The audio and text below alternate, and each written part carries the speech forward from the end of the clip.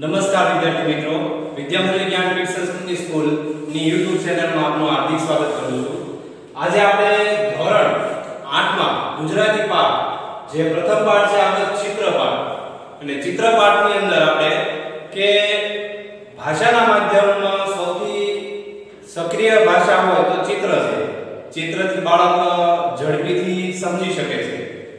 જેમ કે તમે વાંચન લેખન કરો, અથવા તો કોઈ ઓડિયો અથવા વિડિયો તમે સાંભળીને તમે એનું શ્રવણ કરશો, તો વારંવાર તમારે એને જોવો પડશે અથવા તો વાંચન કરવું પડશે. પણ ફક્ત ને ફક્ત એકવાર ચિત્ર જોયા બાદ તમે એને લાંબી સ્મૃતિમાં યાદ રાખી શકશો. આપણે એવો જ એક પાઠ છે, પ્રથમ પાઠ, અને એ પાઠ વિશે થોડીક માહિતી લઈશું. હંમેશા આપણી સક્રિય જે બાળકોની સ્મૃતિ હોય છે, એકવાર જોયા પછી એને સમય યાદ રાખવાની એનામાં તીવ્રતા હોય છે. આજે આપણે પહેલો પાઠ ચિત્રપાઠ તો ચિત્રપાઠની અંદર આપણે જાહેર સ્થળો અથવા તો શહેર અથવા તો ગામ, ગામની બજારો જોતા હશું અને પાઠનું નામ છે આપણે બજાર.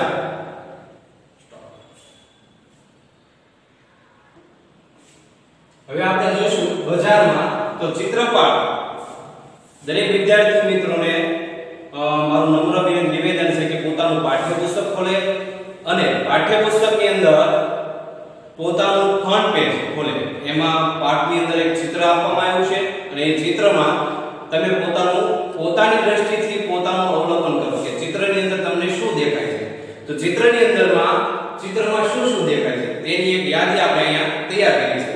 આ યાદીમાં એક ટેન્કર દેખાશે. ચિત્રમાં બીજું બાઇક દેખાશે. અકસ્માતમાં ઘવાયેલા ઘવાયેલા યુવાન દેખાશે. બીજું કે પોલીસ જવાનો પણ દેખાશે. ત્યારબાદ એમ્બ્યુલન્સ કે ઘવાયેલા અકસ્માત. અકસ્માત થયેલા યુવાનને લેવા માટે આ એમ્બ્યુલન્સની વ્યવસ્થા કરવામાં આવી છે. ત્યારબાદ આપણે એક પીઠળ કોમ્પ્લેક્સ દેખાશે.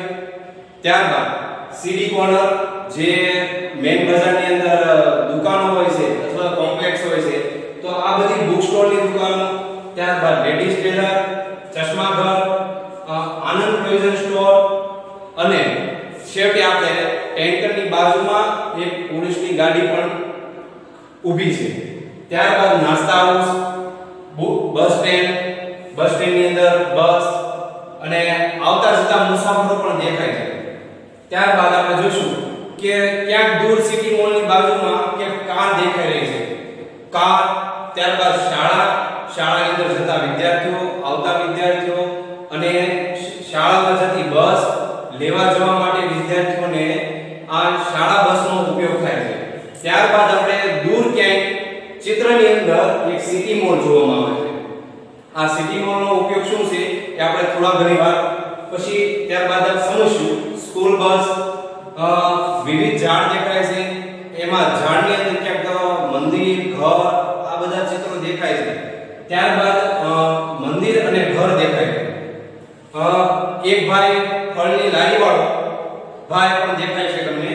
ત્યારબાદ રસ્તે ચાલતા રસ્તે ચાલતા લોકો પણ તમને દેખાય છે.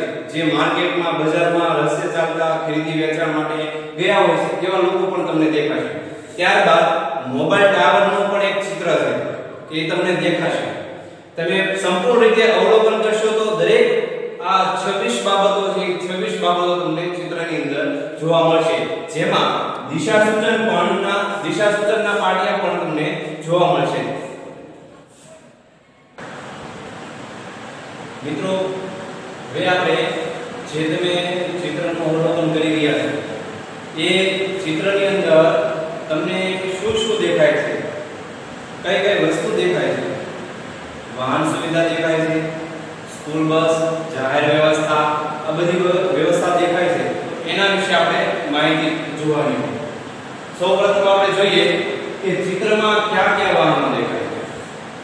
તો ચિત્રની અંદર bike, tanker, jeep, car, bus, રિક્ષા, એમ્બ્યુલન્સ, આ વાહનો આપણે મુસાફરીના સાધનોમાં ઉપયોગી છે.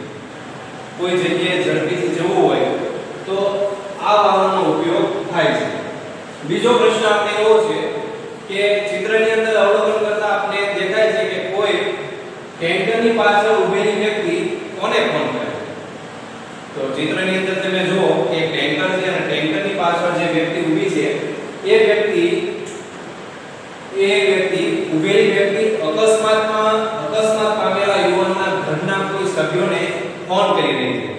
એને જાણ કરવા માટે કે આ વ્યક્તિનું અકસ્માત થયો છે.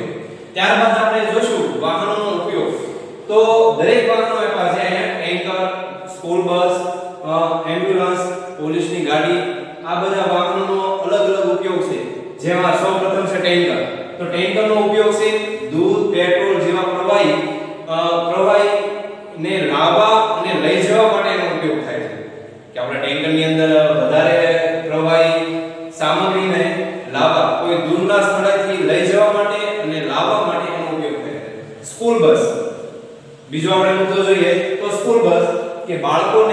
સ્કૂલેથી ઘરેથી સ્કૂલે લઈ જવા માટે અને સ્કૂલેથી ઘરે લઈ મૂકવા માટે સ્કૂલ બસનો ઉપયોગ થાય છે. અને ત્યારબાદ આપણે ત્રીજો મુદ્દો જોઈએ કે એમ્બ્યુલન્સ. 108 આપણે, જેને આપણે જાણીએ છીએ 108 થી આપણે. પણ 108 નો ઉપયોગ શું છે? તો આ આ એમ્બ્યુલન્સ નો ઉપયોગ એ માટે થાય છે કે લોકોને ઝડપીથી, જ્યાં અકસ્માત થયો છે, ઘટના બની છે, એ ઘટનાને કોઈ વ્યક્તિ ઘવાયેલો છે તો એ વ્યક્તિને ઇમરજન્સીમાં તાત્કાલિક ભાગ સ્વરૂપે આ એમ્બ્યુલન્સની અંદર નાખવામાં આવે છે અને ડાયરેક્ટ હોસ્પિટલની અંદર પહોંચાડવામાં આવે છે. અને ત્યાં એને સારી સારવાર આપવામાં આવે છે. ચોથો મુદ્દો જોઈએ કે પોલીસની ગાડી. આ ગાડીનો ઉપયોગ શું કામ થાય છે? કે પોલીસ લોકોનું કામગીરી હોય છે કે કર્મચારીનું સરકારી કર્મચારીનું કામગીરી હોય કે ક્યાંક ઘટના બની હોય છે ત્યાં ઝડપીથી દોડી જવું તો એના માટે કે અકસ્માત કે જ્યાં થઈ હોય છે. ત્યાં ઝડપીથી તાત્કાલિક આ સાધન દ્વારા પહોંચી શકાય અને આ ગાડીનો એના માટે ઉપયોગ થાય છે. હાલો વિદ્યાર્થી, તો હવે આપણે ચિત્રને આપણે આગળ એનું અવલોકન કરીએ. ચિત્રની અંદર વૃક્ષો દેખાય છે. તો તમારા ચિત્રની અંદર જે પાઠ્યપુસ્તક છે, એમાં ચિત્રમાં કેટલા વૃક્ષો છે? તો એમાં અવલોકન કરીને જુઓ તો ચિત્રની અંદર ટોટલ 6 વૃક્ષો છે. અને તે ઉપરાંત એક નાનો છોડ પણ દેખાઈ રહ્યો છે, જે સર્કલની અંદર છે.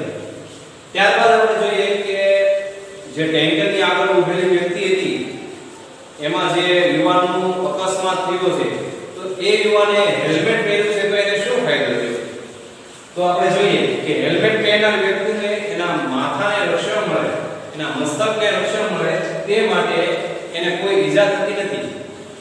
ત્યારબાદ આપણે જોઈએ કે શહેરની અંદર, બજારની અંદર કઈ કઈ નાગરિક સુવિધાઓ આપણે ઉપલબ્ધ હોય છે. એમાં સૌપ્રથમ 108 જેમાં એમ્બ્યુલન્સ તરીકે આપણે ઓળખીએ છીએ. બીજી નાગરિક સુવિધા તો પોલીસ આપણું જે રક્ષણ કરે છે એ. ત્રીજું જોઈએ કે શાળાઓ. તો શાળાઓમાં એ સુવિધા પૂરી પાડે છે.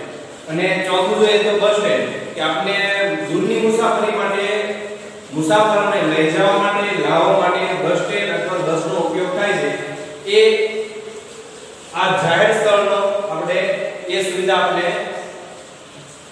ઉપયોગ થાય છે. ત્યારબાદ પાંચમું આપણે સિટી મોલ અથવા તો નાની મોટી દુકાનો જે આપણે જીવન જરૂરિયાતની ચીજ વસ્તુઓ પૂરી પાડે છે. જેમ કે ઘઉં, ચણા, ચોખા, દાળ વસ્તુઓ આપણે જીવન જરૂરિયાત છે. તો એ બધી વસ્તુનો આપણે જીવન જરૂરિયાતમાં ઉપયોગ થાય. કપડા, ચશ્મા, આ બધી સામગ્રીઓ આપણે જીવન જરૂરિયાતમાં ઉપયોગ થાય છે. ત્યારબાદ સિટી મોલ. અને સિટી મોલની અંદર તો જે આપણે હાઈફાઈ વસ્તુ હોય છે, અથવા તો આપણે જીવન જરૂરિયાતને ઉપયોગી છે, એવી સિટી મોલની વસ્તુઓ આપણે ત્યાંથી પ્રાપ્ત થાય છે. અને આપણે જોયું કે બજારના કોઈ પણ ચિત્ર હોય તો આપણે એને પ્રથમ દ્રષ્ટિએ એનું અવલોકન કરીએ છીએ. તો ચિત્ર શું કહેવા માંગે છે? ચિત્રની ભાષા શું છે? ચિત્રમાં આખી વાર્તા પણ આવી જાય છે એટલે આ એક ભાષાનું માધ્યમ છે મિત્રો આપણે આગળ વધીશું આપણે જોઈશું કે ચિત્રમાં દ્રશ્યમાં આનંદ પ્રોવિઝન સ્ટોરમાં કઈ કઈ વસ્તુ મળતી હશે તો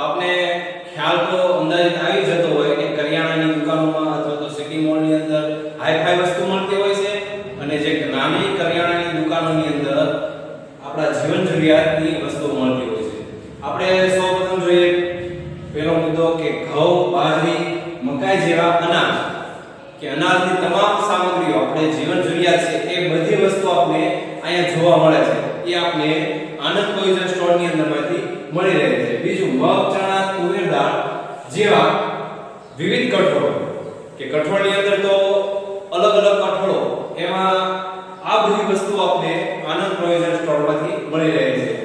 અને જેમાં મરી મસાલા અથવા તો મીઠું, મરચું, હળદર જેવા મસાલા એ આપણે કરિયાણાની દુકાનમાંથી ઉપલબ્ધ થઈ શકે છે. ત્યારબાદ, ચોથો ચોથો મુદ્દો જેમાં ચીંગ શીંગ તલ, કપાસિયા ખાદ્ય અને પાંચમામાં ઘી, ચા, કોફી અને ખાંડ. આ બધી વસ્તુઓ આપણે આનંદ પ્રોવિઝન સ્ટોરમાંથી, જે આપણે બજારની અંદરથી ઉપલબ્ધ ઉપલબ્ધ થઈ શકે છે. અને આપણા જીવન જરૂરિયાતમાં નાહવા નાહવા તથા નાહવા તથા કપડાં ધોવાના સાબુ પણ કરિયાણાની દુકાનોમાંથી મળી રહે છે. આ દ્રશ્યમાં આનંદ પ્રોવિઝન